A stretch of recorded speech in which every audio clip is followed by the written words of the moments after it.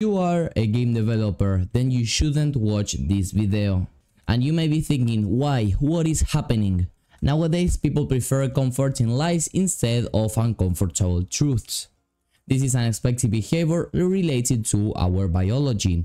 However, if you wanna overcome your nature, know the harsh truth about being a game developer, and actually understand how to make money, continue watching.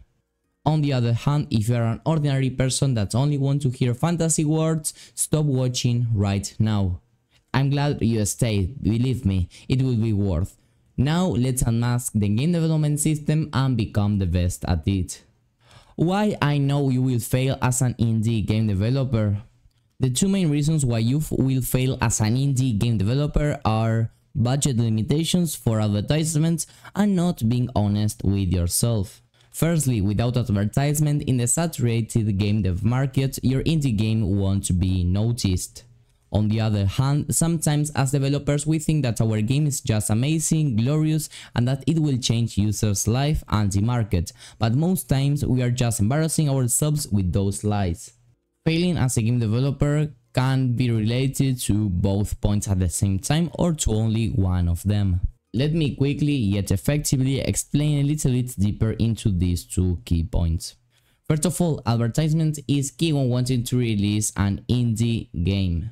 Just go to any store, for example Steam, and look for the most played indie games or the new games. You will easily realize there are a lot of games you can find and most of those games aren't even from completely indie game developers. They at least have uh, hired some people to work with them in different areas of the game.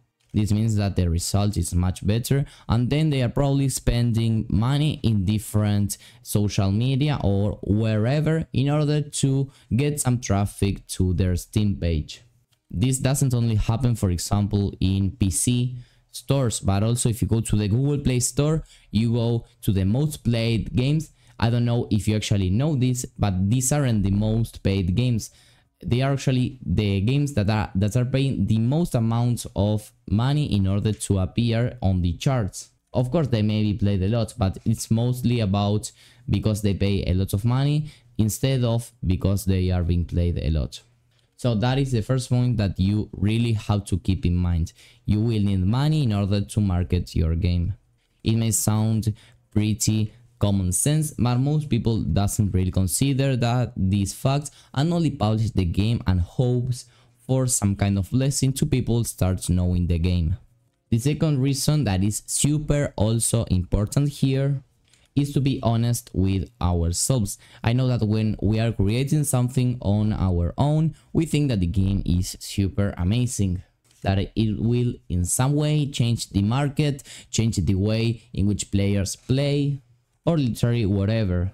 Just think a little bit deeper in your own. As I explained in the introduction, it's something that naturally is like a defense that our body does in order to overcome um, the pain, let's say. Or maybe not the pain, but it's a way of defending ourselves from the harsh reality that maybe our game isn't as good as we think. In order to realize this, again, go to any store page, look for any game that you want, and probably maybe the visuals, the core gameplay, or whatever is probably better than yours. Maybe again, because they have um, a team working behind or whatever other reason that may make their game better than yours. And in a very saturated market, quality is key, of course. Now, is actually these things bad? Is there an, an actual way to overcome them? The first steps towards solving these uh, things is firstly accepting our reality. I mean, for example, if we have no budget to market our game, to hire more developers, okay, that's okay, that's the reality that we have. So we don't really have to be thinking about that all the time, but we should be thinking all the time about making the best game possible, about marketing the best way possible that we have with the resources that we have. Maybe we will learn some stuff, maybe we earn some money, or whatever so for the next game we have more knowledge more resources and more money for our next invention. So this doesn't mean that it's necessarily bad or that we should avoid talking about these things but i think that the key here is to be honest with ourselves to get to have a good plan and then do the most of what we currently have. Then as time goes by probably we will have more resources knowledge or whatever that will ensure that at least our game gets more downloads than our previous one. Here comes the solution how can you escape the harsh game development system and actually be successful? You need a marketing plan. This can be post posting videos on social media or paid advertising if you have the budget. Anything that gives your game visibility in a saturated market will be worth.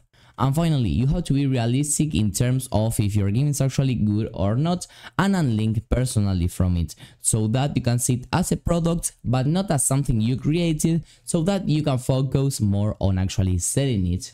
I would like to focus a little bit more about unlinking yourself from the game. Of course, as we're creating the games on our own, it's a natural behavior to start linking ourselves with the game. And that's the reason why we can think that the game is better and blah blah blah that I've been explaining in the previous points. So the key point here, I think that is unlinking personally from these games. Because when we are linked personally to our project, what happens is that we set unrealistic expectations and we aren't honest with ourselves. Again, super connected with the previous points.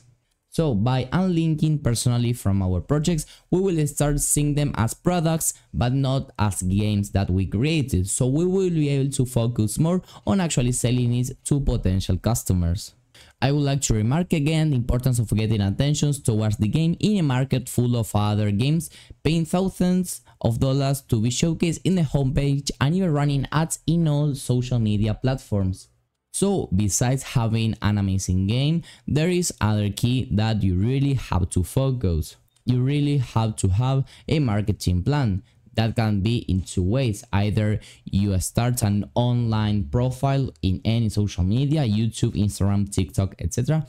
Or you spend money in running advertisements in all of these social media. Or you can even combine both methods. Let me show you how this is applied in a running YouTube channel, a running project with more than a thousand K subscribers. A hundred K subscribers, sorry. Road to Vostok, as you can see, is a 3D shooter project we are making videos about, as you can see, they have different, but well, they have, for example, devlogs, they have some announcements, they are basically showcasing the game that they are creating. It isn't currently a published project, but what they are doing with this is that they are building hype in their community, so they are actually building a community with this. So when the game is finally released, they will already have some audience that is willing to play or pay for playing the game. As you can see here we have this Steam page and as you can see well we have the demo and the game is actually coming soon. But they have been able to build a substantial community with a lot of wish lists okay? It's just a matter of taking a look at the youtube channel with thousands of subscribers. Now I will summarize over 10 minutes of video in just 30 seconds, so pay close attention because you will have all the key points literally ready to be written down. Here's the bottom line, navigating the game development landscape isn't walking in the park. It's about facing the hard truths like the importance of marketing and being brutally honest about your creation. In this journey, the road to success demands more than just a great game. It requires a well thought out marketing plan and a realistic perspective on your creation. It's not just about making a game, it's about selling it to a broader audience. Remember, in a sea of games all looking for attention, standing out is half the battle. Whether you're investing money or time or a bit of both, it's a choice you need to make based on your resources. Road to Vostok, for example, isn't just a game, it is a testament to the dedication needed in this industry, having a very big YouTube channel and probably running ads on their end. So as you embark on your own game development journey, armed with the knowledge and the strategies to overcome them, may your games shine bright in this competitive landscape. So yeah, there basically you have a summary of all the key points that the video mentions in a matter of just 35-45 seconds, something like that if I were you, I would write them down right away. So I hope that this video has been helpful for you. For sure, nobody has the truth about all these things because I know that they may be quite controversial.